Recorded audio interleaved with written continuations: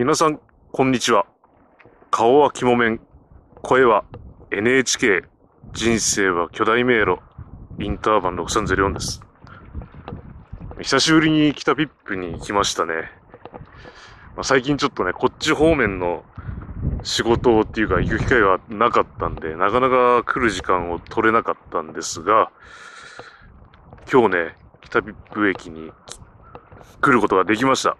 それで、あの、駅ノートメンテナンスのため復活させて、させていなかったんですよ。ちょっとメンテナンスのために持ち帰っていたということで、3ヶ月ぐらいですかね。3ヶ月ぐらいちょっと間が空いてしまったんですが、今日から北比布駅の駅ノートもですね、復活します。それで、まあ、以前ですね、ここの駅舎の周りの雲ですね、もう徹底的にあの、ポアしましたので、あの、現世から救済しましたので、全然蜘蛛の巣ないです。あのー、ここのホームのね、柱のところは蜘蛛の巣があるんで、まあ、雲がそろそろ活動する時期であることは確かだと思うんですが、まあ、駅舎はですね、まあ、すごい綺麗というか、まあ、雲がいなくて、いい感じになってますね。それで今日はですね、あのー、天気もすごくいいです。すんばらしい青空ですね。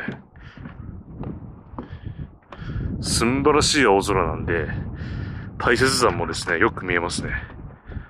大雪山が日本一、世界一綺麗に見えるっていうのがこのピップ町のですね、キャッチコピーなんですけれども。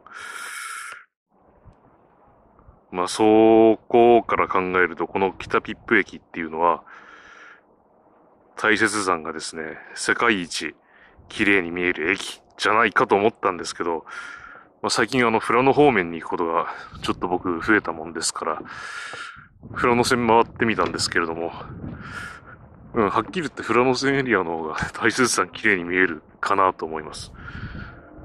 うん。大雪山見るんだったらね、富良野線ですね。美瑛の丘はあんまり見えないんですけど、大雪山はね、車窓からもすごいよく見えます。で、これですよ。大雪山。この微妙にこの上の方はまだ雪が残ってるっていうところがね、あの、いいと思いますね。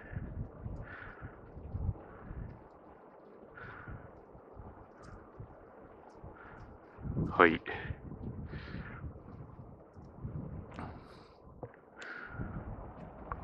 まあ、そうですね。もう北比布駅の駅ノート置き始めてから、まあ大体2年経つわけです。まあいろいろありましたね。最初は、あのー、北比布駅に来る人、少しでも増えてほしいなっていう、そういう、まあ、観光目的でやってたんですけれども、まあ、いろいろあの、駅ノート破壊犯とかですね、いろんなの現れるようになりまして、この駅ノートの動画っていうのもまた新しいですね、局面を迎えてきたなっていうところですね。それでまあ今回は駅ノートある程度、ある程度強化させて復活はさせているんですけれども、まあただ基本的にはあんま変わってないんで、基本的にはあんまり変わってないんで、また破壊される恐れっていうのは十分あると思います。ただまあ、伊納駅の駅ノート、バラバラになったんですけれども、ただ表紙と鎖だけは生き残ってたっていうことで、表紙と鎖を破壊する力はですね、破壊犯にはないっていうことが分かったんで、まあ、そのあたりも踏まえて、今後の駅ノートをどういう構造にしていくかということも考えながらやっていきたいなと思います。えー、そしたらですね、長らく、長らく本当にお待たせいたしました。えー、復活です。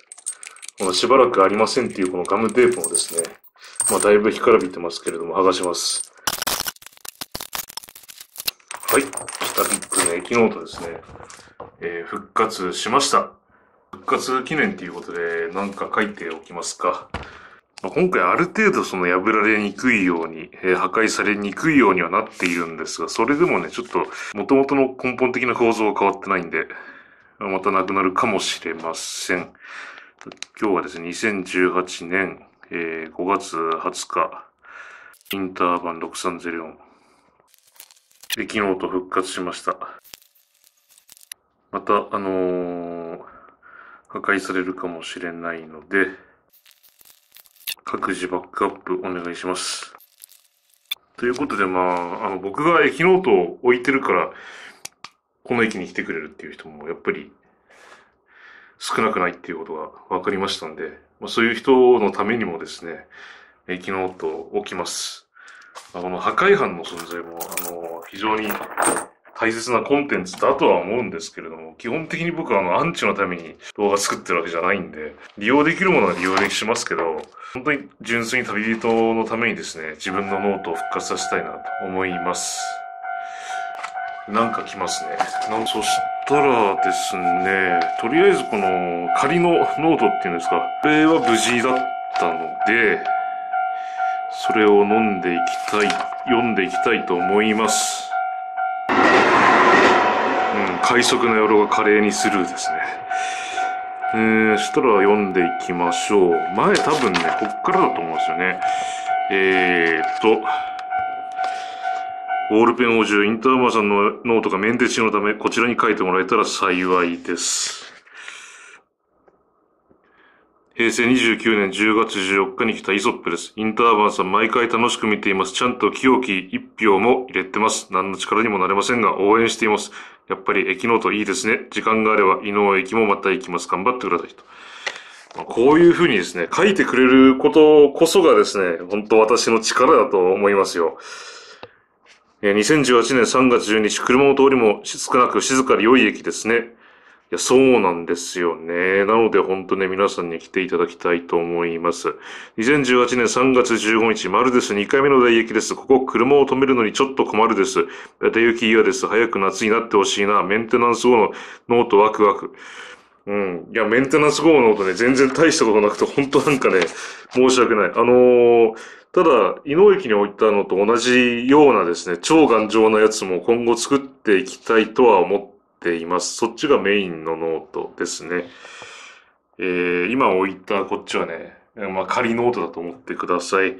2018年3月17日、千葉県から来ました。初めての来駅です。ただ、広い雪原に小さな板張りのホーム最高です。しかしここは3月中旬だというのに吹雪、関東民からすると信じられませんね。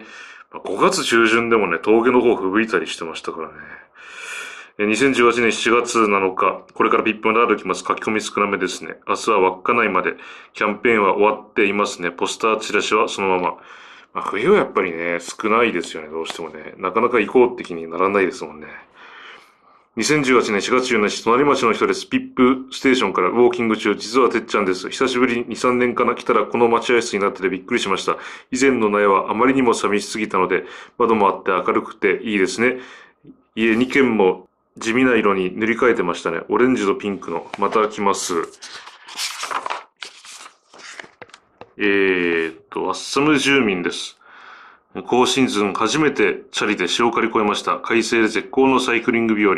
白鳥さんたちも気持ち良さげに鳴いていました。カエルさんはあまり食べないであげて、ケロいつもは汽車で通過していてノートに書き込みできませんでしたが、本日はチャリ旅ということで、先日ランルの古戦橋からランル駅の朝の列車交換の円形を楽しんでからここまで走ってまいりました。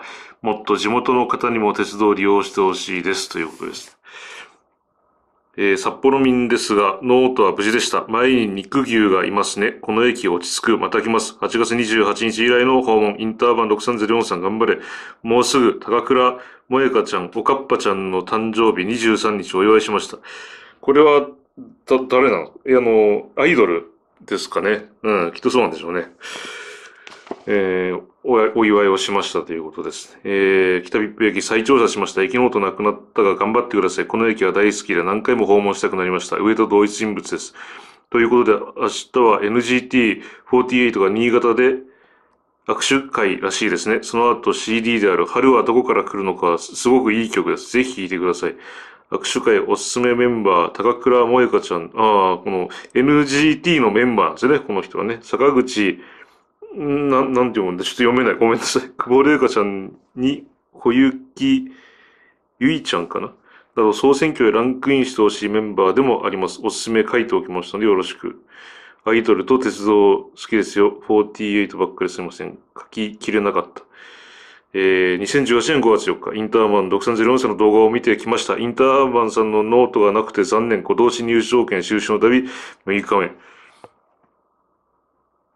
えー、5月13日、駅ノートがない。子供と書きに来たのに、この駅ノートは守っていきましょう。いや、申し訳ない。この、ちゃんと仮ノートがあるのにね、駅ノートがないっていう書き込みがこんなにあるんですよ。もっと本当ね、早く来ればよかったなと思いますね。2018年5月20日初めて来ました。7時47分の列車で下車。本日は快晴です。景色もとても綺麗だな。牛がいますね。もう待合室は新しいものですね。南比布と同じかな。北、宗谷本線の駅巡り。残るは下士別ぐらいか。インターバンさんの動画をいつも拝見しています。まあ、ますます苦労がありますが、頑張ってください。ということですね。いや、惜しいですね。ニアミスですね。